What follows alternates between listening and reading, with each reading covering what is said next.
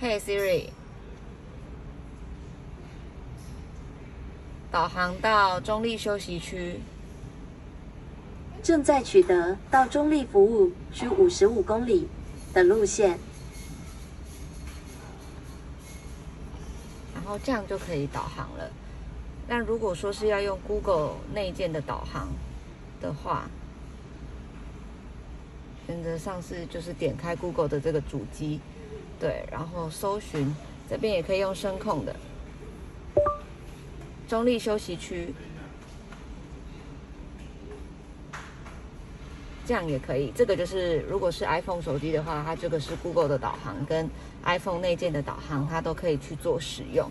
对，然后连接 CarPlay 的话，就是可以打电话，然后接听电话，就是通话记录这边，然后播音乐也都可以。